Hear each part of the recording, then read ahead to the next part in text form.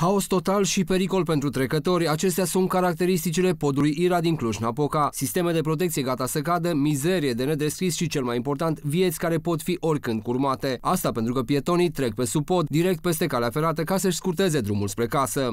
Un bun locuitor al străzii Timișului pentru a ajunge acasă va face în felul următor. Se va uita în dreapta, se va uita în stânga și temător va începe să treacă calea ferată.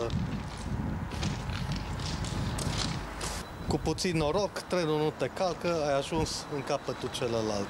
Pe lângă asta, mizeria este de nedescris în zona improvizată de traversarea căii ferate de sub pod, iar structura de rezistență a podului a devenit cuibar pentru porumbei. Peste podul Ira circulă zilnic sute de mașini de diverse tonaje, iar structura de rezistență acestuia este într-o stare avansată de degradare, cu sisteme de protecție gata să cadă.